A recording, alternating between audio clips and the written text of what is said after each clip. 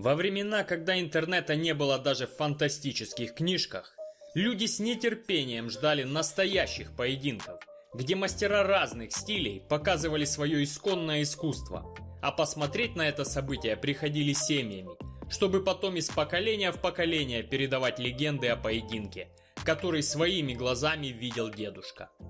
Привет, дробящая плоть клешни Скорпиона! Вы на канале Муайтай Сикей, а я Федорович. Покажу вам невероятную историческую зарубу древних мастеров Кьюкушинкай карате и Муайтай.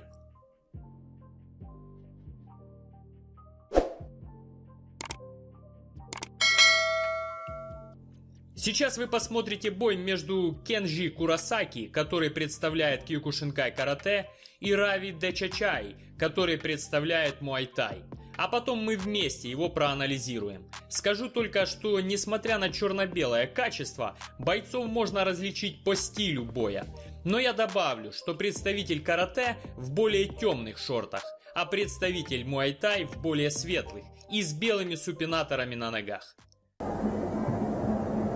เอาละครับราวีดี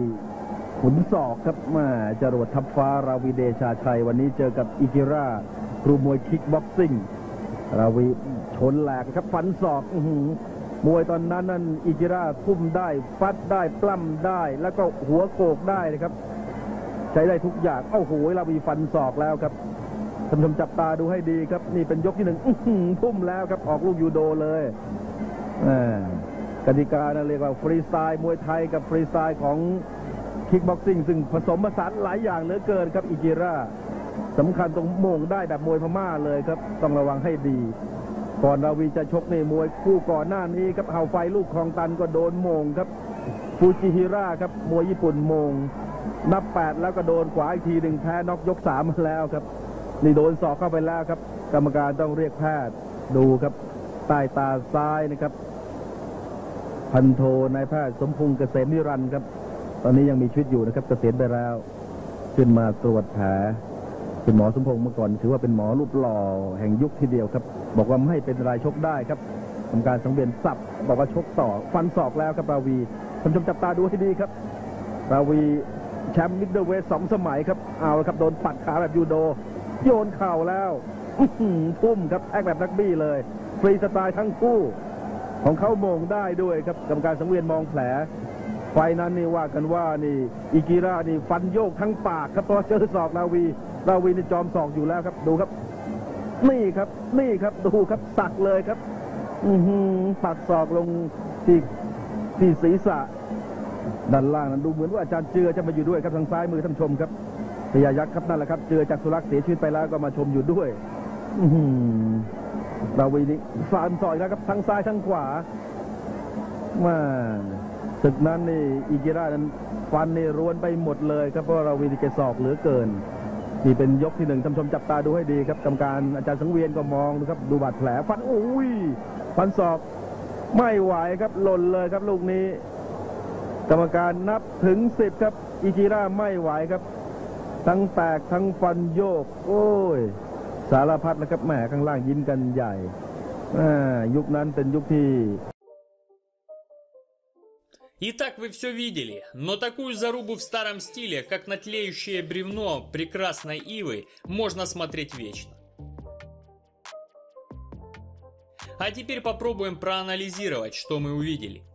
С первых секунд Таец начал очень агрессивно и включил свое главное оружие – работу ногами, а именно лоу-кики и мидл-кики. кстати, нужно отметить, что в то время тайцы вообще не умели и не работали руками, а если и били, то корявые прямые. Основным ударом рукой был локоть, который получался отменно. И в этом бою правый локоть зашел отлично.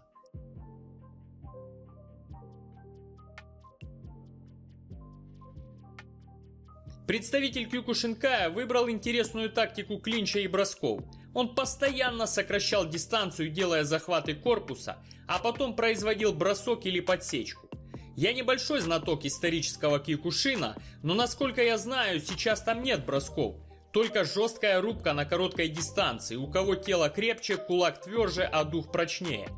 Поэтому броски от каратиста у меня вызывали удивление. Но это было не раз и не два, а постоянно. Такое впечатление, что именно искусство дзюдо внедрилось во все направления японских единоборств, или выходцы из дзюдо начали переходить в другие направления боевых искусств. Но от кикушиновца, кроме бросков и подсечек, мы так толком ничего и не увидели. В середине раунда удар локтем, который нанес таец, принес свои дивиденды и у каратиста открылась сечка. Но характер Кюкушина не позволил прекратить бой от такой мелочи, как разбитое лицо и куча крови. Снова левый локоть от тайца достигает цели, но каратист вроде бы его и не почувствовал, и забрав ногу опять хотел сделать подсечку. Но канаты помогли тайцу удержаться, хоть и ненадолго,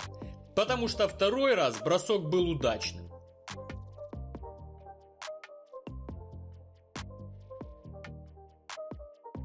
Обратите внимание, что тайц вообще не бьет руками, а сразу сближается с ударом правым локтем. Это уже гораздо позже, в 80-х, когда европейцы начали ездить в Таиланд и там боксировать, отправляя тайцев руками в нокаут. Они взяли технику бокса себе на вооружение, от чего только выиграли. Классный левый локоть, на этот раз четко в открытую голову. Сначала казалось, что Курасаки устоит, но нет. На этом бой был закончен. Пишите в комменты, как вам старая школа этих мастеров. Подписывайтесь на канал, жмите колокольчик, ставьте лайки и делитесь видео с друзьями. Пускай заценят древнее искусство боя. Также смотрите бомбовые видео в описании. А если вы хотите начать тренировки даже в домашних условиях или усилить уже имеющиеся, забирайте бесплатные курсы в описании под видео. Благодарю за просмотр и настойчивости в тренировках.